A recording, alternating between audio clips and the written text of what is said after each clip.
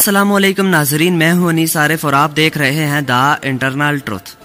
नाजरीन आज आपकी खिदमत में जो वीडियो लेकर आए हैं, इसे देखकर आपको यकीनन बे इंतहा मुसरत होगी।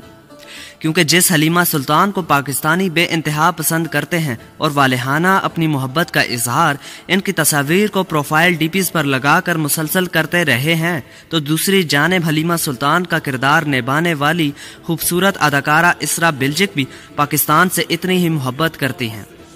जी हाँ जिसका इजहार इन्होंने मशहूर बॉलीवुड अदाकारा प्रियंका चोपड़ा को खूब खरी खरी सुना कर किया है।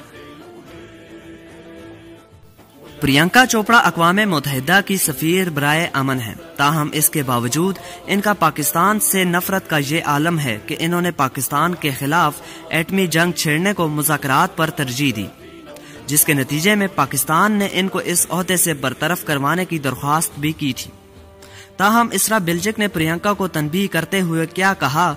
ये जानने से कबल हसब रवायत आपसे सिर्फ़ एक ही गुजारिश होती है कि हमारे चैनल को ज़रूर सब्सक्राइब कर दें, वीडियो को लाइक कर दें और साथ ही साथ बेल वाले आइकन को ज़रूर प्रेस कीजिएगा, ताकि आइंदा आने वाली वीडियोस भी आपको इसी तरह बासानी मिलती रहे। शुक्रिया।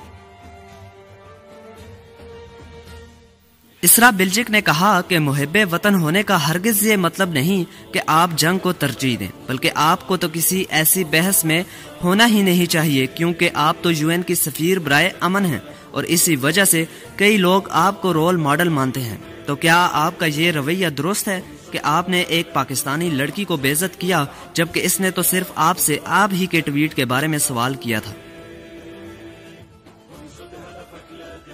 याद रहे कि कुछ रोज कबल आयशा मलिक नामी पाकिस्तानी लड़की ने प्रियंका को खूब खरी खरी सुनाई थी हती कि इनको मुनाफिक तक कहकर पुकारा था कि एक तरफ़ तो आप अमन की सफीर बनी फिरती हैं तो दूसरी जानब आप जंग की बात करती हैं आप एक हकीकतन मुनाफिक हैं Hi Priyanka. Hi, what's your name? Aisha. Hi, Aisha. So, it was kind of hard hearing you talk about humanity because as your neighbor, इसरा बिल्जिक ने इसी पाकिस्तानी खातून की हिमायत की और साबित कर दिया कि वो भी पाकिस्तान से बे इंतहा मोहब्बत रखती हैं। नाजरीन, एक मिनट रुकिए। कहीं आप वापस तो नहीं जा रहे? यकीन मानिए, वीडियो बनाने में काफ़ी मेहनत दरकार होती है। तो आपसे सिर्फ़ इतनी ही रिक्वेस्ट है कि हमारी हौसला अफजाई के लिए चैनल को ज़रूर सब्सक्राइब कर दें वीडियो को लाइक कर दिया करें और साथ ही साथ बेल वाले आइकन को ज़रूर प्रेस किया करें। शुक्रिया, खुदा हाफिज।